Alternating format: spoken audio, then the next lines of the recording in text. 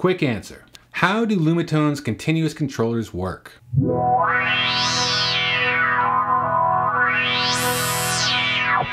all familiar with using a mod wheel to control parameters within a virtual instrument. And of course, Lumitone is equipped with a state-of-the-art proprietary mod wheel to do just that. But we also have 280 other options to control parameters. That's right, any one of these 280 keys here can be converted from being a note on-off key into a sensitive continuous controller fader. You just pull up the Lumatone editor, make sure you got a continuous controller for your key type.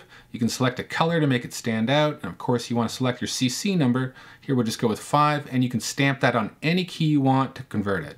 You can see in real time it's been converted and it's ready to be assigned. This really comes in handy for performances since you now have the option to place a CC wherever it's most convenient for what you're playing. Play a big synth pad with a few CCs just above your chord for easy access.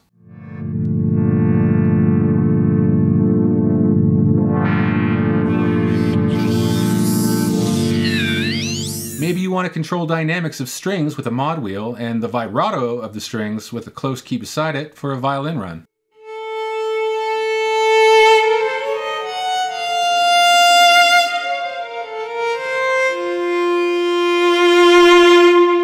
You now have what feels like an infinite amount of configurations, bound only by the limits of imagination, which is always inspiring.